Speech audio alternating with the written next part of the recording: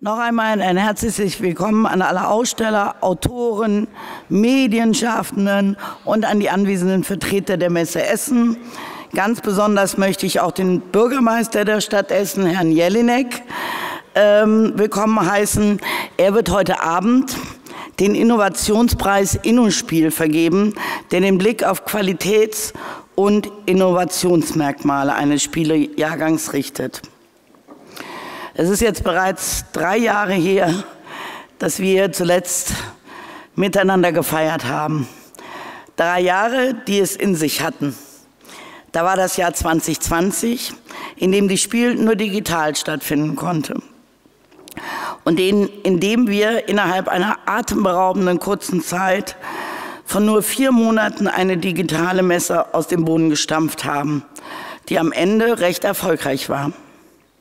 Dann im letzten Jahr standen wir vor der Herausforderung, nach dem langen Lockdown als eine der ersten großen Publikumsmessen wieder an den Start zu gehen.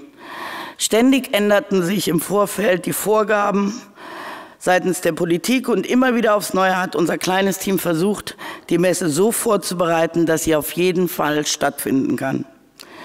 Viele von Ihnen sind diesen langen und abenteuerlichen Weg mitgegangen waren als Aussteller bei der Spiel Digital präsent, haben im letzten Jahr großes Vertrauen in uns gesetzt und sind auch in diesem Jahr mit vollem Engagement dabei. Das ist in diesen außergewöhnlichen Zeiten keine Selbstverständlichkeit. Ein ganz herzliches Dankeschön dafür.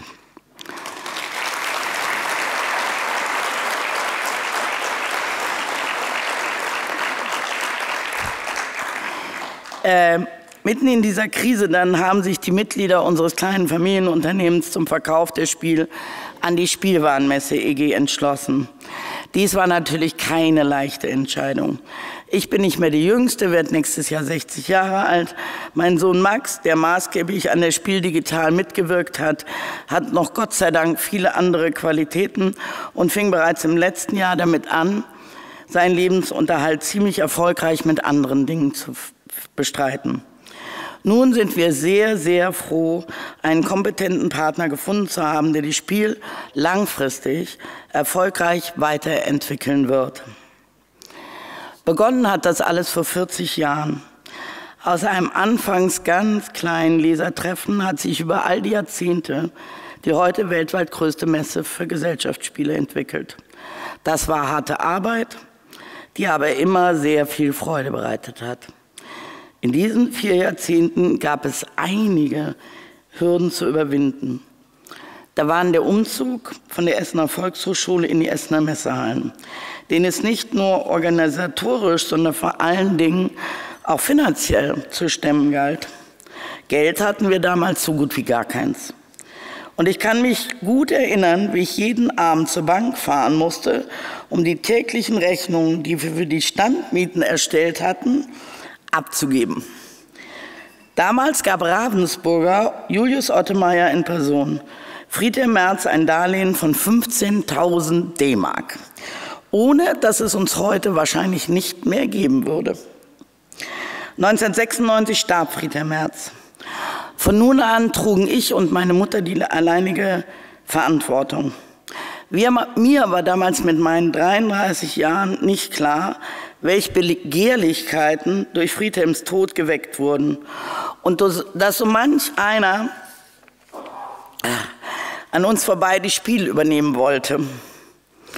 Heute möchte ich mich nach all den Jahrzehnten ganz, ganz herzlich bei Ernst Pohle bedanken, dem langjährigen Vorsitzenden der Fachgruppe Spiel, zwischenzeitlich Spiele Verlage e.V. Ich kann mich gut erinnern, wie ich 1996, dem Todesjahr von Friedhelm Merz, der drei Monate zuvor gestorben war, auf der Spiel saß und mich sonntags mit dem Abschlussbericht quälte. Endlich war er dann mal fertig und in diesem Moment klopft mir jemand auf die Schulter, reicht einen Zettel rein und sagt ziemlich autoritär, schreiben Sie das. Daraufhin ich, warum soll ich das denn schreiben? Es passte mir gar nicht, es passte gar nicht zu meinem mühsam erarbeiteten Text. Daraufhin er, nicht willig mit mir zu diskutieren, Sie schreiben das jetzt, setzen Sie es halt drunter. Der Mann mit dem Zettel damals war Ernst Pohle. Auf dem Zettel stand, die Branche spricht den beiden Veranstalterinnen ihr vollstes Vertrauen aus. Dieser Satz machte der Spielewelt damals klar, hier wird nicht diskutiert. Wehe, es versucht noch einer, die Spiel zu übernehmen. Die Messe bleibt in den Händen von Rosemarie Goy und Dominik Metzler. Lieber Herr Pohle, jetzt heul ich fast. Ich musste damals noch ein ein paar Jährchen älter werden, um wirklich zu begreifen, was sie damals getan haben. Und ich möchte den heutigen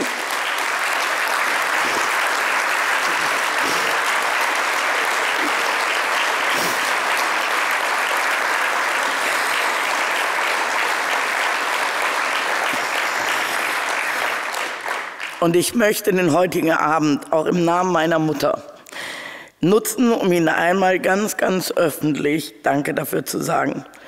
Danke für Ihr Vertrauen, danke für das über all die Jahrzehnte von Respekt und Freundschaft geprägte Verhältnis, das immer zwischen uns zweien geherrscht hat, auch wenn wir uns immer noch siezen. Ich, ich denke, wir haben Sie hoffentlich nicht enttäuscht. Und jetzt würde ich gerne Ihnen einen Riesenstrauß Blumen dafür geben, Herr Bohle. Kommen Sie doch einfach mal rauf.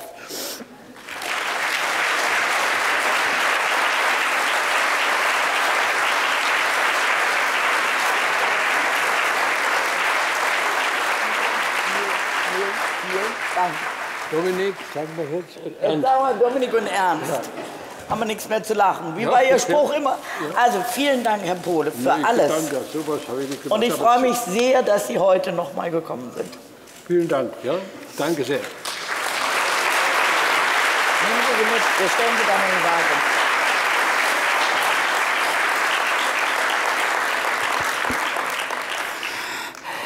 So, und ihr wisst ja fast alle, wir sind halt, wie gesagt, von der, habe ich ja gerade gesagt, von der Spielwarenmesse dieses Jahr, äh, Anfang des Jahres gekauft worden. Wir fühlen uns sehr, sehr wohl damit. Und ich denke, jetzt ist es an der Zeit, dass der Florian Hess äh, auch ein paar Takte von der Spielwarenmesse dazu sagt.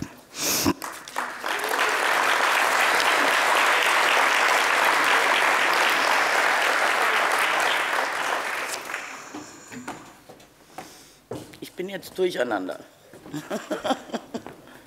Was. Ja, ja. Mach's weiter. Alles gut. Also tschüss. Ja, vielen Dank, liebe Dominik. Und äh, guten Abend auch von, von meiner Seite. Herzlich willkommen, meine Damen und Herren. Mein Name ist Florian Hess. Ich bin Vorstand bei der eben schon erwähnten Spielwarenmesse EG und seit Anfang Januar auch noch zusammen mit Dominik Metzler in der Geschäftsführung des Friedhelm Merz Verlags. Und ich freue mich natürlich sehr auf die bevorstehende Messe, die ich in diesem Jahr natürlich aus einem ganz, ganz anderen Blickwinkel sehen darf. Also so hatte ich mir das nicht äh, vorgestellt. Heute früh haben wir genau von hier schon gemeinsam eine ziemlich erfolgreiche Pressekonferenz über die Bühne gebracht. Und ähm, war gut besucht. Danach wurde ich gefragt, weshalb wir uns als Spielwarenmesse denn an der Spiel beteiligt hätten. Nun, die Antwort ist eigentlich ganz einfach, denn wenn man da unten in die Hallen schaut, dann geht einem als Spiel und wahlweise Spiel- und Messemensch natürlich das Herz auf. Das ist einfach eine tolle Messe und ich kann Ihnen sagen, das wussten wir schon ganz schön lange. Wir haben die Messe natürlich äh, schon lange besucht und wir waren ganz ehrlich ein bisschen neidisch auf Essen.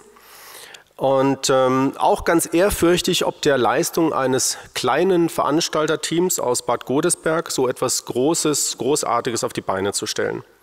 Und naja gut, wir sind auch in der Spielwaren- und Spielewelt ganz gut vernetzt.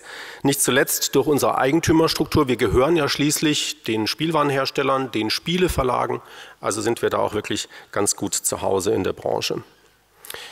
Und so begab sich dann, wir bekamen also an einem im letzten Jahr einen Tipp von einem unserer Mitglieder und Genossen, der schon lange auf der Spiel ausstellt und diese Dominik Metzler, die wir noch nicht so gut kannten, auch persönlich kannte. Und der hat uns dann gesagt, na ja, ihr könnt ja mal da anklopfen und Interesse bekunden. Gesagt, getan.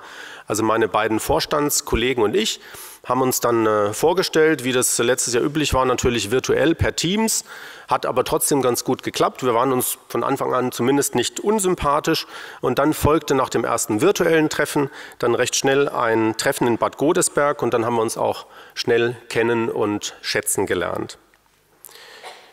Ja, wir, also meine Kollegen und ich und auch Dominik Metzler und ihr Team machen alle wahnsinnig gerne Messen und wir sind auch in der Spiele- und Spielwarenbranche zu Hause. Und irgendwie kann man sagen, kam zusammen, was gut zusammenpasst.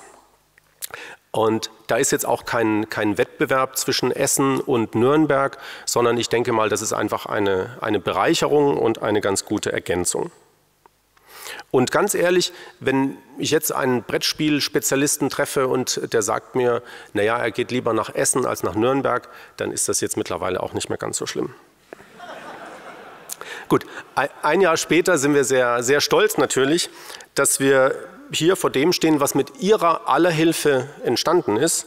Und äh, vielen Dank auch von, von meiner, von unserer Seite für Ihre Unterstützung und Ihr Engagement hier zur Spiel 2022. In Zahlen haben wir 980 Aussteller aus 56 Ländern versammelt. Und die Spiel ist damit fast so groß wie vor Corona. Und vor Corona heißt in 2019, das war das absolute Rekordjahr. Außerdem haben wir 1800 Neuheiten am Start und ganz wichtig, ganz viele Spieltische aufgebaut und die warten nur darauf, in den nächsten Tagen bevölkert zu werden.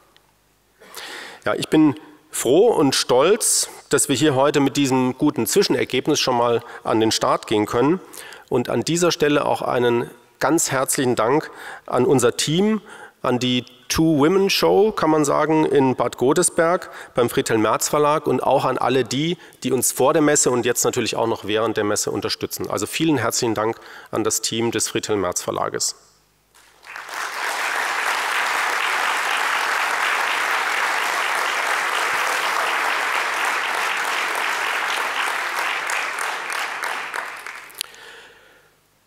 Gut, dann freue ich mich auf vier tolle Messetage, die vor uns liegen. Ich wünsche Ihnen und uns eine erfolgreiche Messe und erst einmal einen schönen Abend.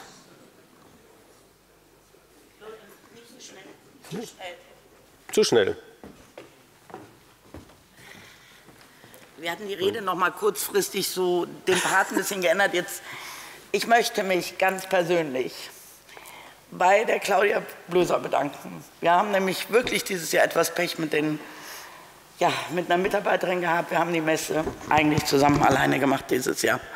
Und das war, wie man sich vorstellen kann, eine Höchstleistung. Und Claudia hat keinen Feierabend mehr gehabt, hat eigentlich auf alles verzichtet, damit das hier irgendwie jetzt stattfinden kann. Und das ist für eine Mitarbeiterin sicher nicht selbstverständlich. Und deswegen habe ich jetzt, wo ist denn der nächste Blumenstrauß? Claudia, vielen, vielen, vielen, vielen, vielen Dank.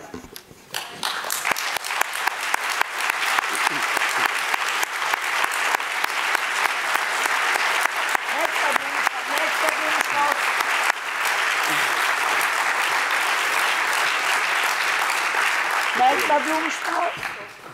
Du musst gleich machen, jetzt bin ich noch mal dran. So, und die nächste, die jetzt ihren letzten Blumenstrauß von mir bekommt, weil sie nämlich nach dieser Spiel irgendwann auch in Rente geht, ist die Frau Appel. Frau Appel, ich glaube, alle Messen zusammen gemacht. Fehlte eine? Keine. Alle Messen irgendwie zusammen gemacht. Ich war sicher nicht immer einfach. Ich bin nämlich auch ein Nörgler, wenn irgendwie was nicht funktioniert und so. Und sie hat das alles stoisch ertragen. Und Frau Appel, auch da möchte ich mich nochmal ganz, ganz herzlich für all die Jahrzehnte bedanken und wünsche Ihnen, wenn Sie jetzt in Ihren wohlverdienten Ruhestand, das hört sich alles so komisch an, ne, gehen irgendwie, dass Sie ganz viel Spaß noch am Leben haben. Und den nehmen Sie jetzt bitte auch nochmal hier.